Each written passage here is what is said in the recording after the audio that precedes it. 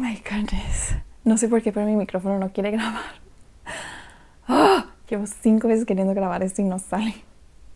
Como ya es otoño, ya es aceptable que haga algo tejido.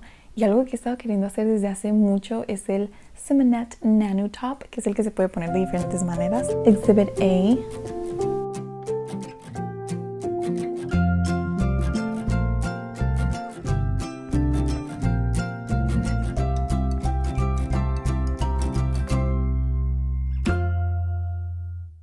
Y hace mucho que no tejo, así que si no me sale, please don't judge. But, ah, tengo muchas ganas de tejer. Creo que es algo fácil de hacer. So, fingers crossed que sí me salga. And yeah, vamos a Parisina. No sé por qué, pero ya desde hace un tiempo el pasillo de estambres de Parisina está con muy poca variedad. No, ni siquiera eso, literal no hay nada de estambres, así que tuve que elegir entre lo que encontré, que no fuera peludito como para cobija ni como para gorro, sino que fuera más como un hilo. Y lo único que encontré fue para bebés. La desventaja es que sí está algo calentito, pero es por lo mismo que está súper suavecito. Estaba entre este rosita pastel, este rosa coral y este amarillo, pero elegí el coral porque casi no tengo ropa de este color pero sí me arriesgué porque solo había tres y compré dos.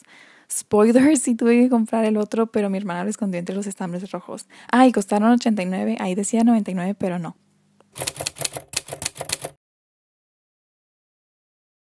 Para el primer patrón que hice fue 21 centímetros de ancho, que vienen siendo 42 medios puntos por 2 metros. Pero considerando que me equivoqué, mi segundo patrón lo hice de 13 centímetros de ancho, que vienen siendo 28 medios puntos por 2 metros, y en los tirantes son 90 centímetros de largo por 10 centímetros de ancho, que vienen siendo 22 medios puntos. Para el material, pues elegí estos dos de la marca Everyday DK de 100 gramos por si te gustó este estambre y lo quieres buscar. Normalmente en la etiqueta te dice las agujas recomendadas para tu estambre, en este caso las que recomiendas son de 4 milímetros y el de gancho también son 4 milímetros.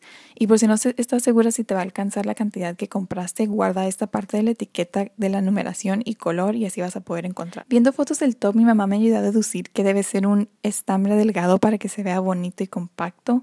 Yo no utilicé un gancho de 4 milímetros, sino uno de 350 porque se me hizo mejor que el de 4. Y ahora puedes desenrollar tu hilo. Yo lo que hice es sacar el extremo que está en la parte del medio para que no esté rodando cada que jale, pero puedes correr el riesgo de que se te enrede todo. What can I say? Soy nivel avanzado. Ah, just kidding. No sé si como enredo el hilo está raro o no, pero como te sientas cómoda, tú agarra el hilo. Lo primero que se hace es un nudo deslizante. Haces como que vas a agarrar el hilo, le das vuelta y luego agarras hilo, lo pasas y ese es tu nudo deslizante. Ahora de aquí se hacen las cadenitas, que es básicamente tomar hilo y pasarlo dentro del hoyito. No sé cómo explicarlo, pero creo que se entiende con la imagen.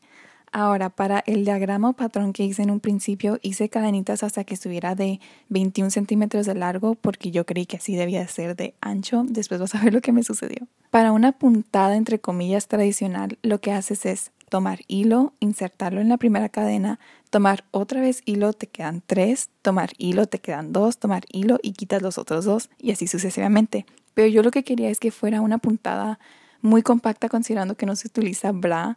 Entonces lo que se hace es un medio punto donde no tomas nada de hilo, lo insertas y tomas hilo, tomas hilo otra vez y quitas las dos loops. Y así lo haces en cada cadenita. Yo te recomiendo que vayas contando cada punto para que si te equivocas puedas saber en dónde, sobre todo si eres principiante, aparte de que así es como yo saqué el patrón, entre comillas. Cuando llegues al final vas a tomar el hilo, lo pasas por los loops, haces una cadenita, lo volteas y continúas con el primer punto. La cadenita se hace para que quede cuadradito de las orillas, si no empieza a formarse como una figura redonda y pues no se ve tan bonito.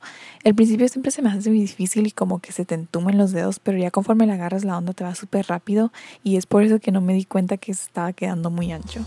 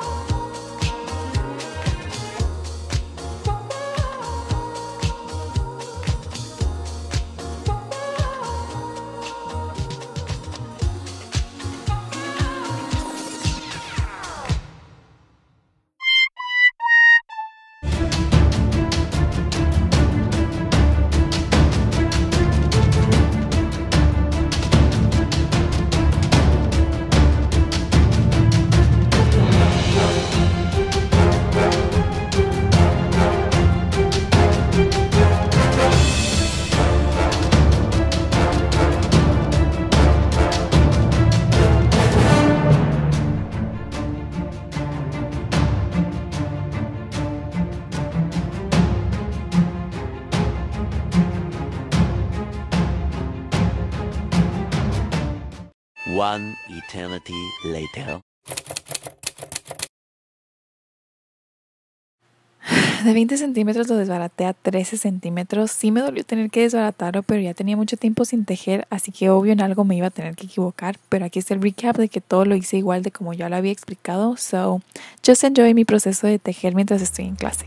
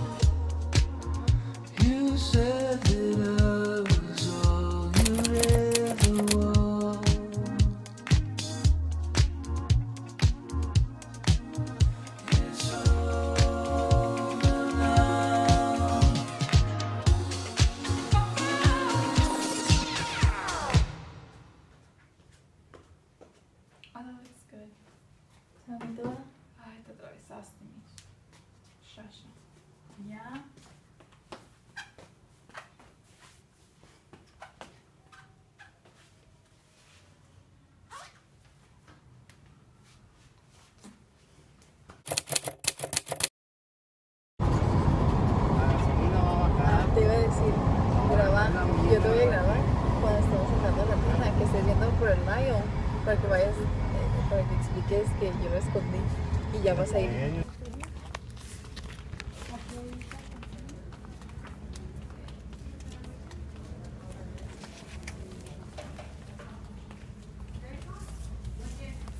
Ay, pensé que se.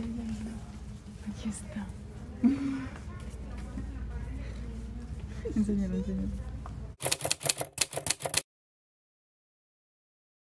Cuando hacer el cambio de hilo, solo le haces un nudo y continúas tejiendo como normalmente lo has hecho. De aquí siempre me gasté como un cuarto de la segunda bolita y estaba con cuidado de no gastar de más porque quería que me alcanzara para los dos tirantes porque pues ya en Parisina no había otra bolita extra que pudiera comprar. Me lo estoy midiendo para considerar qué tanto más necesitaba de largo y yo no lo quería con las tiras tan largas de atrás, se me hizo como muy innecesario del original. Así que lo dejé donde yo creí que se vería bien. Pero aparte te tienes que dar cuenta que el estambre se estira. Entonces con el uso de estarlo anudando se va a ir haciendo más grandecito. Entonces también por eso no lo dejé tan largo. Ahora para ya terminar la puntada lo que se hace es cortar con exceso el hilo y haces como una cadenita pero pasas todo el hilo y ya eso es el nudo final. Y ahora solo vas a ocultar ese hilo que cortaste enlazándolo entre las cadenas.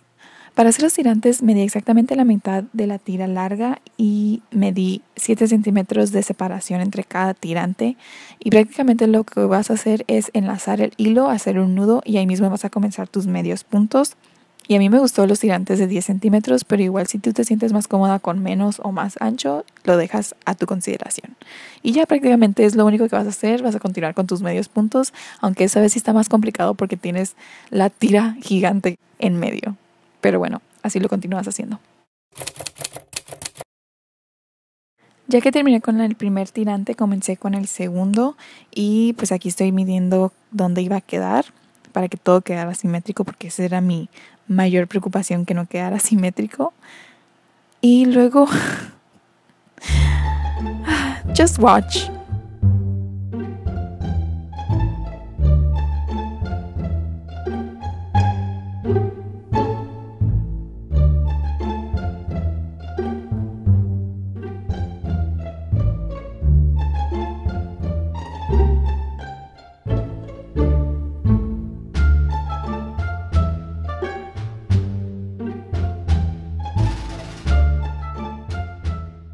no sé por qué me confundió tanto no saber cómo lo pegué, pero quiere decir que lo dejé demasiado seamless, que no se ven las pegaduras y es lo que yo quería. Pero bueno, ya que descifré cómo lo hice, continué con el segundo tirante, que de hecho el primer tirante lo dejé a medias porque fue el resto de la segunda bolita de estambre. Y bueno, me lo medí para saber dónde quería que quedara ya el tirante final. Y luego pues continué con el segundo, que era como un cuartito y prácticamente ya se termina como ya había enseñado. Corté un pedazo bastante largo de estambre, agarré mi aguja estambrera y doblé los tirantes a 13 centímetros, que es la misma medida del ancho de la tira más larga. Se va a hacer un nudo y se cose normal como si cosieras en tela para que no quede ninguna pegadura. Solo asegúrate de que esté del mismo lado el doblez, porque si no en los tirantes se va a notar que no está simétrico ni está el del mismo lado. Entonces ya prácticamente es lo último.